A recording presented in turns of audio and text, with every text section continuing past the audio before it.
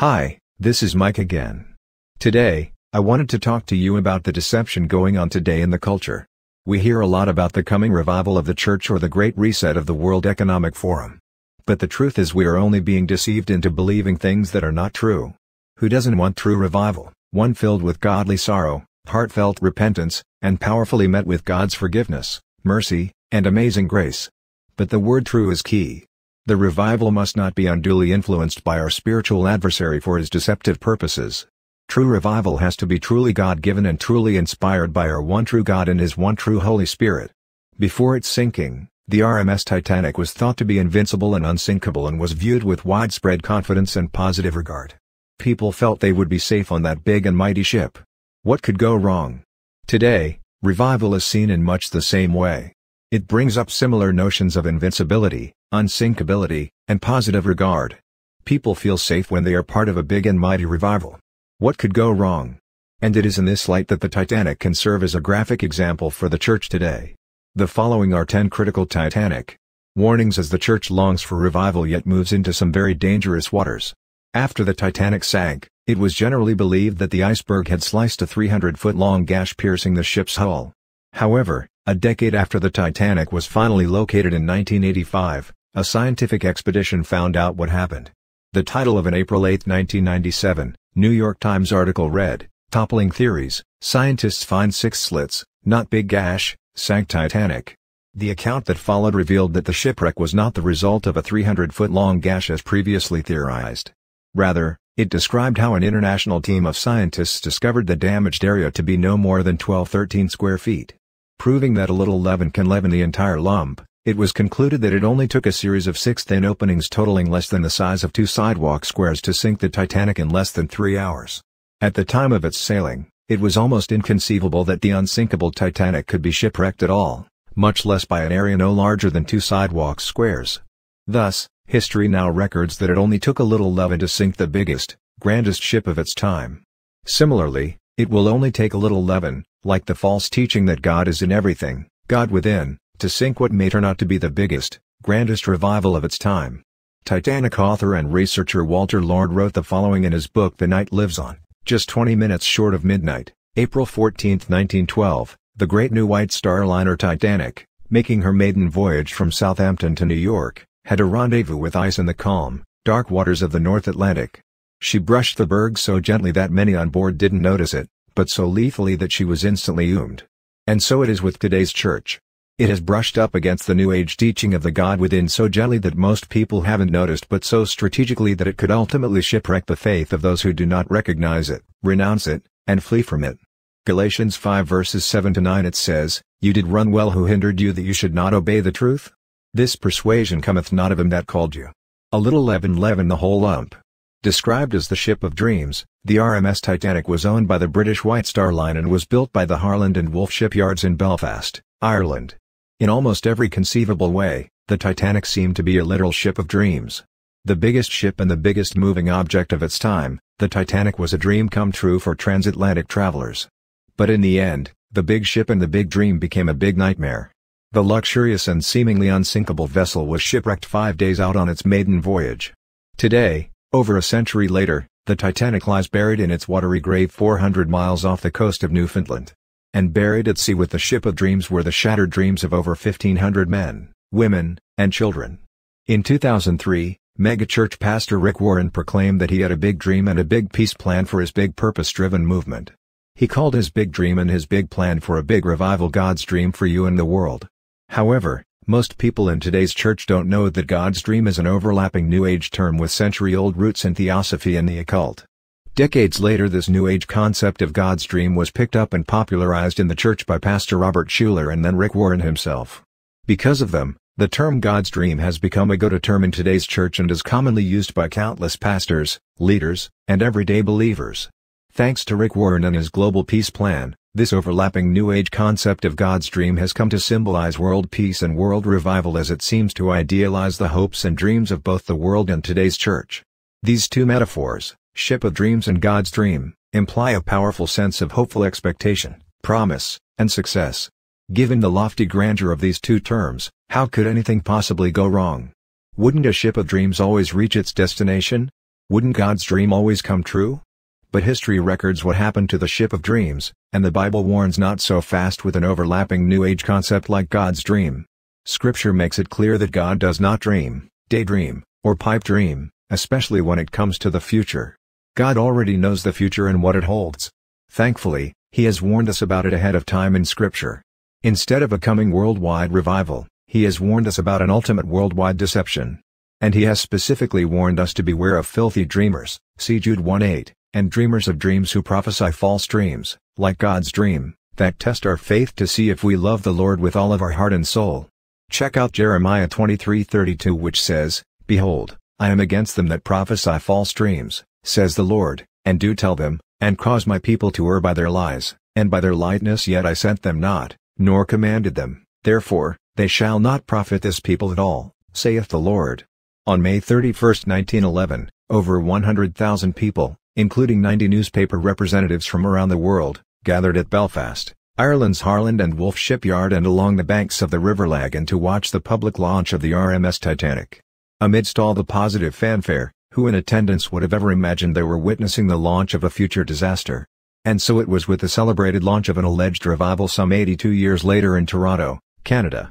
Massive numbers of people would converge on the Toronto Airport Vineyard Church. They believed that the so-called Toronto Blessing was the launch of a great modern-day revival.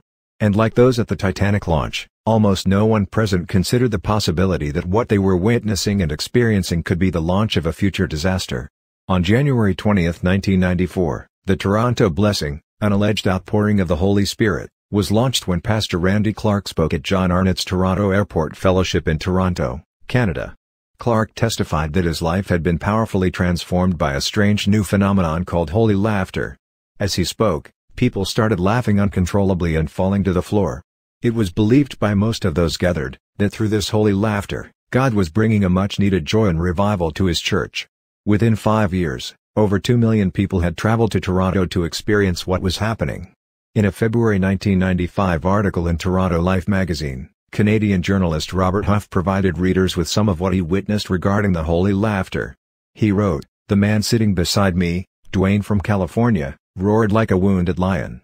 The woman beside Dwayne started jerking so badly her hands struck her face. People fell like dominoes, collapsing chairs as they plunged to the carpeting. They howled like wolves, brayed like donkeys and in the case of a young man standing near the soundboard, started clucking like a feral chick. The Toronto Blessing is now commonly regarded as the mothership for many of the other revivals that have occurred since. Many present-day ministries, like that of Bethel's Bill Johnson, can be traced back to Toronto and the influence of a transplanted South African evangelist named Rodney Howard Browne. He was the one who passed his holy laughter and anointing on to Randy Clark and, directly or indirectly, to millions of others. However, the hysterical laughter, loss of self-control, mental confusion, and tumbling to the floor, sometimes for hours, bore no resemblance to past true revivals. In those revivals, godly sorrow and deep repentance were characteristic not ungodly manifestations like holy laughter. In spite of the controversy that surrounded it, the Toronto Blessing convinced many church leaders that God was in the process of unleashing an international awakening, a great worldwide revival. Veteran church figure Michael Brown wrote a book titled From Holy Laughter to Holy Fire, America on the Edge of Revival. He believed that the Toronto Blessing was the launch of an international awakening of huge proportions. Toronto pastor John Arnott said the church needed to prepare for the greatest harvest of souls the world has ever seen. Church leader and revivalist Leonard Sweet stated that God was in the process of giving birth to the greatest spiritual awakening in the history of the church. Across the board, church figures from Pat Robertson, Kenneth Copeland, Beth Moore, and Rick Warren to Greg Laurie, Dutch Sheets, and William Paul Young are all heralding a mighty move of God, a great worldwide revival.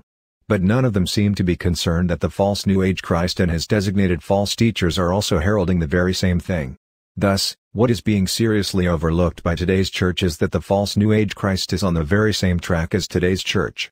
He describes his worldwide revival as a planetary Pentecost. Today's church leaders, using much the same language, describe their worldwide revival as a second Pentecost. And there seems to be no awareness, much less concern by today's church leadership, of how these two parallel revivals could eventually merge in the future and become dangerously one. Sounding just like holy laughter, the New Age Christ states that in his planetary Pentecost, people will experience the joy of the force flooding their systems with love and attraction. He says this joy of the Force will produce a Pentecostal experience for all, even the fundamentalists. He says that his planetary Pentecost, his world revival, will bring peace and healing to the world and that the world will end in laughter. Ecclesiastes 7 verses 3 and 4 states, Sorrow is better than laughter, for by the sadness of the countenance the heart is made better. The heart of the wise is in the house of mourning, but the heart of fools is in the house of mirth before the disaster. The Irish News and Belfast Morning News headline The Titanic is a masterpiece of Irish brains and industry. Until its demise, the Titanic was a supreme symbol of the Gilded Age notion that man and his smart technology had finally outsmarted the forces of nature. Grand possibility thinking seemed to prevail throughout the land. With the rapid advances being made in technology, even the impossible seemed possible. The Titanic, with all of its sheer opulence, bold bigness, and technological superiority, stood as proof positive that man could not only dream the impossible dream but could also now make that dream come true. As far as the world was concerned, the Titanic was, in every conceivable way, a ship of dreams. However, at the height of this seemingly invincible era of big money, Big business, big buildings, big ships, and big dreams, the big dream went under. So much for the Titanic's state-of-the-art smart technology. The unsinkable ship was gone, and so was the dream. The triumph of modern technology and the unbridled dreams of the Gilded Age had suddenly hit the wall. Similarly, certain physicists and self-described futurists, both in the New Age and in today's church, have manipulated legitimate discoveries in quantum physics to produce what appears to be a seemingly scientific technologically based quantum spirituality. This new age and new spirituality promises to bring an otherwise divided world into harmonic convergence and spiritual oneness. Proponents of this quantum spirituality believe it will unify the world and all its various religions. The world and the church are being told that a new age and new world religion is now possible because quantum technology is proving that God is in everyone and everything. One of the most deceptive Christian books in this quantum area is Leonard Sweet's Quantum Spirituality, a postmodern apologetic. In his 1991 book, Sweet praises several New Age leaders for being his personal role models and heroes.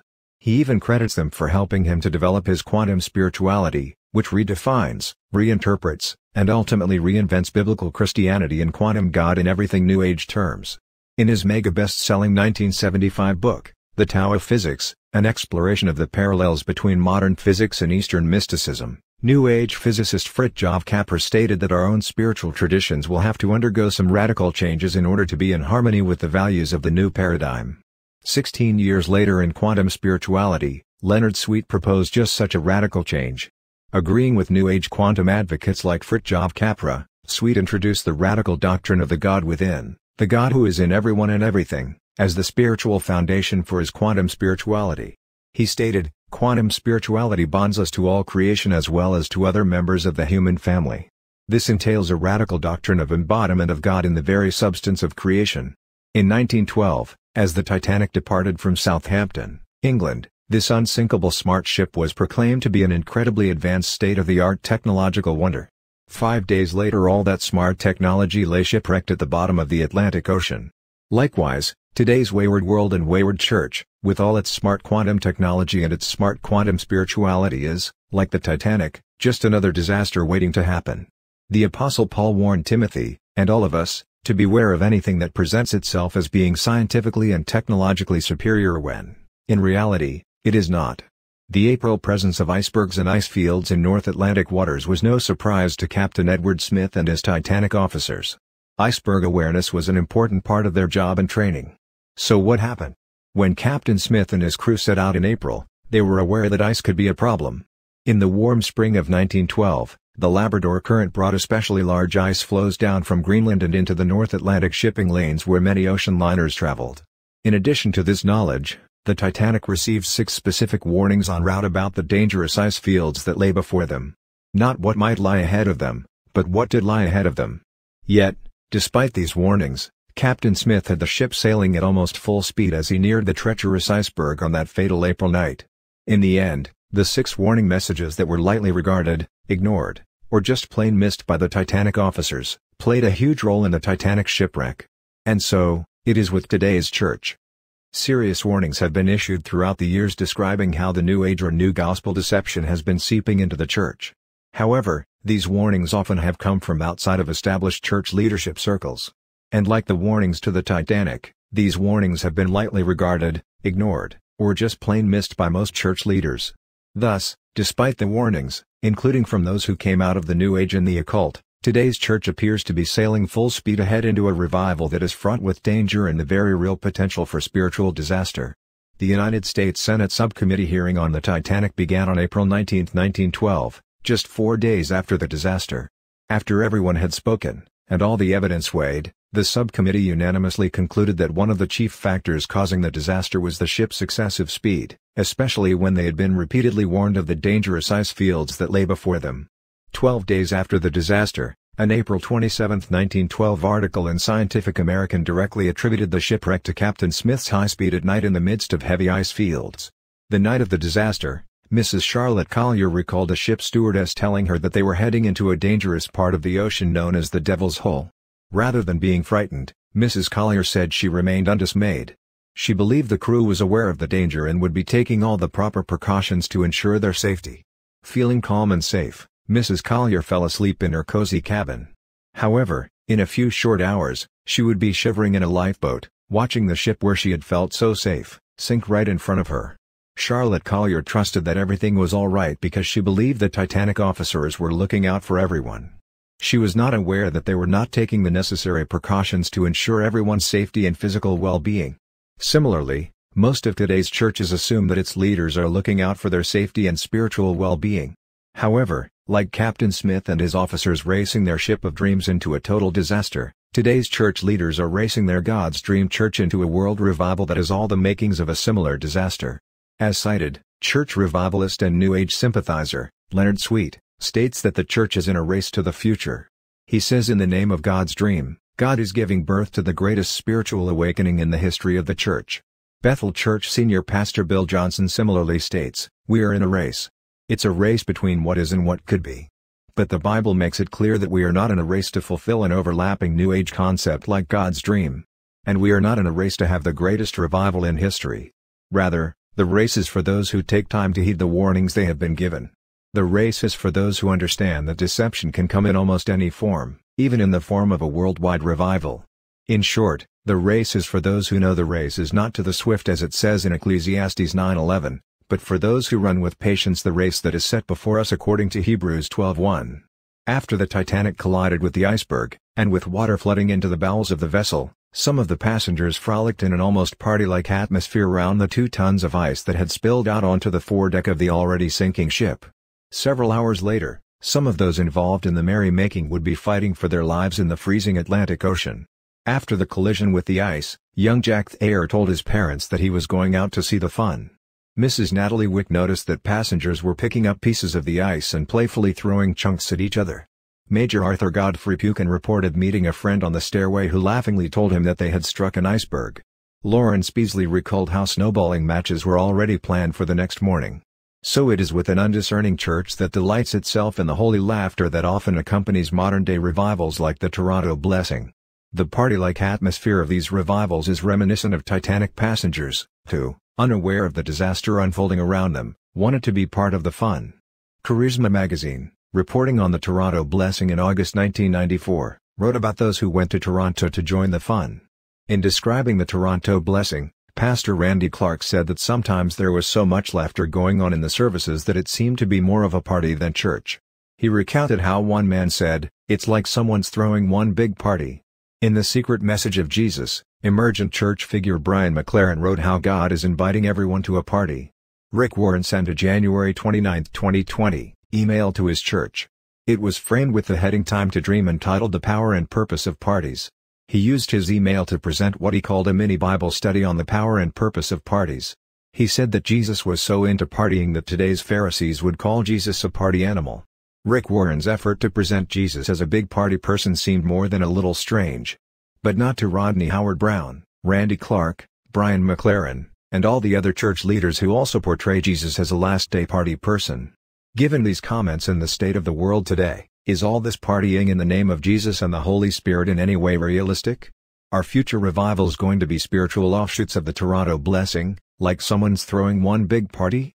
Are we to believe that the someone throwing the big party is going to be Jesus himself because he is so into partying?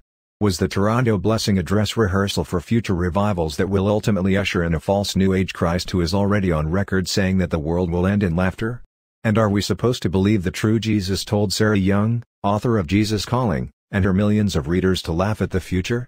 For those who have a love of the truth and a love of the true Jesus Christ, we are told to work out our salvation with fear and trembling. We are not told to work out our salvation with holy laughter type partying. We are not to take part in revivals that have another Jesus, a party Jesus, who is not the true Jesus Christ. We are not to take part in revivals that have another spirit, a party spirit, that may one day merge with the false New Age Christ's joy of the force and his planetary Pentecost. However, we need to keep in mind this verse from 2 Corinthians 11:4, For if he that comes preaches another Jesus, whom we have not preached, or if you receive another Spirit, which you have not received, or another gospel, which you have not accepted, you might well bear with him. It is a tragic fact that there were not enough lifeboats for all the Titanic passengers and crew. As a result, 1,500 people unnecessarily died. One of the chief reasons for the shortage was that archaic shipping regulations didn't require shipping lines to have a sufficient number of lifeboats for everyone on board. And because the White Star Line didn't have to have them, they didn't. The ship owners knew that by cutting back on lifeboats, they could cut their costs. And with fewer lifeboats, there would be additional deck space to make the ship more attractive and comfortable for potential ticket buyers. In short, maximizing the company's financial gain took precedence over maximizing the safety of its passengers. This same emphasis on financial gain has always been present in segments of the church. From overly solicitous prosperity preachers to spiritually compromised books like The Shack and Jesus Calling, undiscerning and unsuspecting believers are often unaware of how they are being used and manipulated for both commercial and spiritual purposes. For example, in 2013, people started to become aware that God Calling, the book that inspired Sarah Young to do Jesus Calling, was a channeled New Age book. As a result, Young and her publishers did some fast damage control to preserve the popularity and profitability of their book. Realizing that Jesus Calling was suddenly being regarded as a channeled New Age book, Young and her editors removed all references to God Calling from all subsequent printings of her book. They also removed where Young stated that her daily devotions were direct messages from Jesus himself, including many that had New Age implications and others that stretched or contradicted Scripture. They even changed her mystical moonlight conversion to a more acceptable and traditional conversion account. There was no explanation for these changes. Future readers would never know about the damage control Young and her editors had done to try and rescue their book. Just as the Titanic owners sacrificed the physical safety of their trusting passengers for profit and gain, Young and her editors sacrificed the spiritual safety of their trusting readers for profit and gain. The Bible describes what Young and the Titanic owners did as the merchandising of men's souls the merchandise of gold, and silver, and precious stones, and pearls, and fine linen, and purple, and silk, and scarlet and souls of men as we see in Revelation 18 verses 12 and 13. William T. Stead who died in 1912 was a renowned British journalist, professing Christian and practicing spiritualist, who was famously known for his investigative articles, books, social activism, and revival advocacy. As a Titanic passenger, he was on his way to speak at a World Peace Conference in New York City at the request of American President William Howard Taft. Stead was one of the over 1,500 people who perished at sea. As a professing Christian, Stead was also deeply involved in spiritualism, what would be referred to today as New Age spirituality. He claimed to have a spiritual gift that enabled the spirit of any other person to communicate through his passive writing hand in an occult practice known as automatic writing. In publishing the numerous letters that were allegedly written through him by a deceased friend named Julia Ames, he hoped to normalize the occult practice of communicating with the dead. In particular, he wanted to share the spiritual counsel he had received from Julia with the world at large. For example, in a meeting Julia said she had with Jesus, he told her he was going to teach her about the secret things of God. And one of the things he taught her was the secret of the God within. Writing through Stead, she said that Jesus told her, the object of life is to evoke, to develop the God within. This secret of the God within was revealed in Stead's book, After Death, Letters from Julia published in 1905 and was described under the bold heading, A Spiritual Revival. Through Stead, Julia wrote that a worldwide revival, a great spiritual awakening among the nations, would take place in the future as humanity awakened to the immanence of the divine, the God within, that was universally in themselves and in their fellow man. Julia said, I was at first astonished to learn how much importance the spirits attach to the communications which they are allowed to have with those on earth. I can, of course, easily understand, because I feel it myself, The craving there is to speak to those whom you love but it is much more than this. What they tell me on all sides, and especially my dear guides, is that the time has come when there is to be a great spiritual awakening among the nations and that the agency that is to bring this about is the sudden and conclusive demonstration, in every individual case which seeks for it, of the reality of the Spirit, of the permanence of the soul, and the immanence of the divine. And what Julia was taught by Jesus and her guides over a century ago about the immanence of the divine and a great spiritual awakening among the nations, is exactly what is being taught by both New Age leaders and church leaders today, that this great spiritual awakening is approaching. But again, the Bible makes no mention of a great worldwide revival at the end of time. On the contrary, it warns of a great worldwide deception replete with false signs and wonders. We see this in Revelation 18:23 and Matthew 24:24. Surprisingly, William Stead, as a hybrid New Age Christian, was greatly involved in the Welsh revival. His 1905 book, The Welsh Revival of 1904-1905, promoted the revival and sold over 700,000 copies in Britain and America combined. Four years later, he released another book titled How I Know the Dead Return. It was a personal account of his alleged communication with his deceased son William. A century later, a Tennessee pastor and his wife also wrote a book about their alleged communication with their deceased son, only his name was Josiah. In 2010, Steve Berger, head pastor of the Grace Chapel megachurch in Leiper's Fork, Tennessee, co-wrote a book with his wife Sarah titled Have Heart, Bridging the Gulf Between Heaven and Earth. It describes how the couple claimed to be interacting with their deceased son, Josiah. The book contains the front cover endorsement of televangelist James Robison, who was a TV host on Life Today, and the front page endorsement of Pastor Greg Laurie.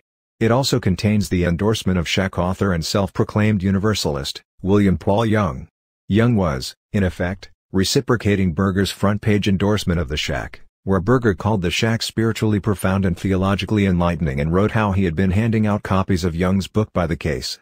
Like William Stead's How I Know the Dead's Return, Have Heart seems to be the Berger's attempt to normalize the practice of interacting with the dead, particularly for Christians. Closely associated with sorcery, interaction with the dead is forbidden in the Bible. It is described as necromancy and as an abomination unto the Lord in Deuteronomy 18 verses 10 to 12. When Steve Berger was questioned by Chris Lawson of the Spiritual Research Network about his communication with his son, Berger strongly defended what he and his wife were doing. He told Lawson, God has made an exception at this time in history for the Berger family. We are, indeed, in communication with our son Josiah. When Lawson tried to contact Greg Laurie about his endorsement of Have Heart, Laurie's secretary told Lawson, Greg is not available for comments on that book. On September 26, 2020, a huge, highly publicized revival event, The Return, was held on the grounds of the National Mall in Washington, D.C. The Return website stated that the organization was formed to achieve the end goal of world revival. Speaking in a primetime slot following The Return's co-chair Jonathan Cahn was Steve Berger. He said his assignment was to take the 250,000 people gathered at the mall and the millions watching online and to transition them from repentance into revival. Amazingly, Berger, unrepentant about his interaction with the dead, was now a leading spokesman for repentance and world revival. In the 12 years since writing Have Heart, rather than being confronted and held accountable for talking with the dead, his stature in the church has only grown. Now, as a prominent revival leader, he sits on the Promise Keepers Board of Directors and their Pastoral Advisory Board. He also presides over his ministry, Ambassador Services International, in Washington, D.C., where he claims to be influencing the influencers. He speaks at various church conferences at the invitation of people like Amir Tsarfati. New Age author James Redfield followed up his mega best-selling novel The Celestine Prophecy with another popular novel titled The Twelfth Insight, The Hour of Decision. When the book's New Age seekers desperately search for secret knowledge that can save the world, Rachel, one of the story's main characters, suddenly finds herself having a real interaction with her deceased mother. Much like William Stead's Julia, who stressed the great importance that spirits attach to their communications with those on earth, Rachel was told much the same thing by her mother. Rachel said, All we have to do is use more of our power to tune in and have a conversation. It's never too late. And there is so much more they want to tell us. In fact, my mother said they desperately need to speak with us, right now, at this crucial point in history. They know the real plan for the human world, and it's time for us on this side to understand. And, of course, that plan has already been conveyed by so many other seducing spirits from the other side. It is the plan for humanity to universally unite by awakening to the God within. About such spiritual beliefs, The Apostle Paul warns us in 1 Timothy 4:1 that in the latter times some shall depart from the faith, giving heed to seducing spirits, and doctrines of devils. Soon after the Titanic disaster, author Thomas Hardy wrote a stark poem about the smart ship that was not so smart. It was titled The Convergence of the Twain. Convergence has been commonly defined as the oneness that results from two or more things coming together, joining together or evolving into one. And it was this disastrous convergence with the iceberg, this wedded oneness as Hardy put it, that resulted in the Titanic's demise and gave the title to Hardy's poem. Describing the circumstances preceding the fateful convergence of the ship and the iceberg, the poet wrote, And as the smart ship grew, in stature, grace, and hue, in the shadowy silent distance grew the iceberg too. Curiously, this 1912 poem can also serve as a metaphoric harbinger for the convergence of the world and a deceived professing church with the ultimate spiritual iceberg, the Antichrist. If Hardy were alive today, he could similarly describe how a not-so-smart church was underestimating its spiritual adversary, just as the Titanic had done with the iceberg. Pierre Teilhard de Chardin, the father of the New Age movement, used this same word convergence to falsely allege that the only possible conversion of the world to a religion of the future would require a general convergence of the world's religions upon a universal Christ. Yet, in his book Quantum Spirituality, Leonard Sweet would have today's church believe that Teilhard was 20th century Christianity's major voice. In another Sweet book, SoulTsunami, with its front cover endorsement by Rick Warren, Sweet states that if today's church is smart it will build new arks and submit to the smart leadership of men like himself. Why? Because, in his book Aqua Church, he presents what he believes to be the essential leadership arts for piloting your church in today's fluid culture. However, his modern-day ark, his ship of God's dreams, bears an uncanny resemblance to that 1912 ship of dreams that ended up at the bottom of the ocean. Tragically, Captain Smith and his Titanic officers did not successfully pilot their ship through those much warned about ice-laden waters. And contrary to Leonard Sweet's Aqua Church assertions, he and other church leaders are not successfully piloting the church through today's fluid culture. Scripture is replete with iceberg warnings about the deception, betrayal, and disaster that will occur in the latter days. But today's church leaders, much like the Titanic's ship officers, remain all too complacent about the danger that looms before them as they race toward world revival. Sadly, the trap has been set. The trigger has been pulled. Antichrist, the ultimate spiritual iceberg, is drawing closer and closer as his planetary Pentecost and Antichrist systems seek to rise from the sea and converge with a deluded world and professing church when it says in Revelation 13:1, And I stood upon the sand of the sea, and saw a beast rise out of the sea, having seven heads and ten horns, and upon his horns ten crowns, and his heads the name of blasphemy. Thank you for listening to our discussion today of the deception going on in our culture today. You can listen to other videos like this one on issues regarding the church and culture today by going to the Nehemiah Resets website at nehemiahreset.org or on our rumble.com channel. Sign up for our weekly email of new videos that we produce. We try to produce one to two new videos each week about relevant issues that other outlets won't talk about. We are a ministry that believes in a biblical worldview of the issues of today. We attempt to educate you in relevant cultural issues impacting our daily lives with the purpose of drawing us away from the Lord. With so many of our churches reflecting the culture it is highly important for all of us to understand how so many of these ideas are really drawing us away from God's Word. We hope today's video helped you better understand some of the deception of the New Age movement and how some of today's top Christian leaders are also being influenced by it. Thanks again for watching this video, we hope to see you again in the near future on another video. Have a great day! Thank you for watching this video from Nehemiah Reset. We hope you found it informative and helpful. Our mission is to assist Christians in developing a biblical worldview as it pertains to relevant cultural issues. We seek to inform Christ's followers, equip them, and mobilize them into action to vote for their biblical values and to actively engage the culture.